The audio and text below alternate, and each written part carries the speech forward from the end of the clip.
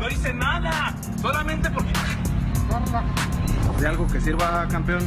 La inseguridad que se han causado en algunas zonas del país es muy elevada, pero en Zitácuaro, Michoacán, los ciudadanos también se tienen que cuidar de la policía. Dos agentes arremetieron en contra de este joven para arrestarlo porque se pasó un alto. Esto mientras la delincuencia organizada opera con toda libertad y les vale un cacahuate.